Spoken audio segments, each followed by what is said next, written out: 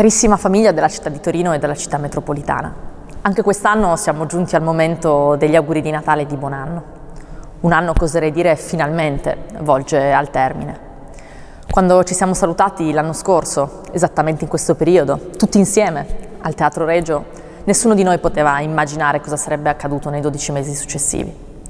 Nessuno di noi poteva pensare che saremmo andati incontro a un periodo storico tra i più duri mai attraversati, segnato da restrizioni della libertà, da crisi economica e purtroppo da molti lutti.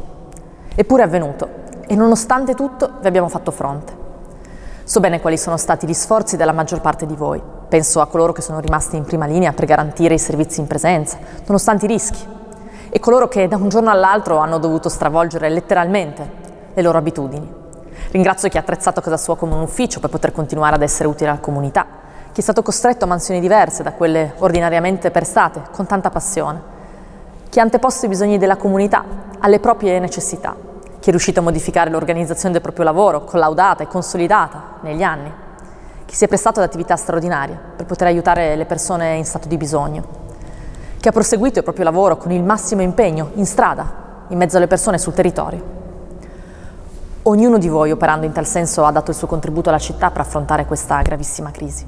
Ognuno di voi è parte di qualcosa di più grande che stiamo ricostruendo tutti insieme. Ecco, a tutti e tutte voi, grazie.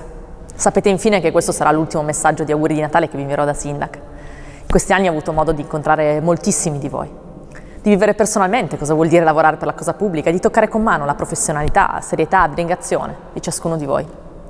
È stato un onore per me lavorare insieme e non dimenticherò mai quello che avete fatto.